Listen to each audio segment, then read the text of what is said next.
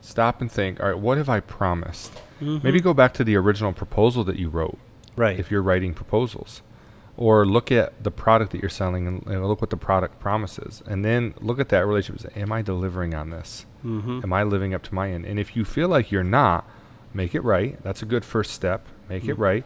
And then have a conversation with the customer and be Mhm. transparent. Like you said, uh, you know, sir, I realized that I, I was going through your stuff and I realized that we talked about doing this and we just haven't done it yet. But I want you to know that I apologize that that somehow got under my radar, but we're going to refocus here and get this done for you. And a lot of Mhm. times that conversation alone, letting that customer know or that client know that he noticed it, he's paying attention to it, Mhm. she's she's working on it, that gives them the peace of mind. Because ultimately, listen, if somebody hired you to do something for them, or paid you to buy something from you, they did it so that they wouldn't have to do it themselves. Right.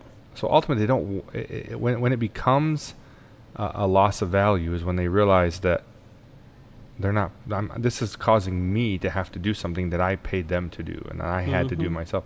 So if you can recognize where the the gaps are or what you're not delivering on, I think that will really help.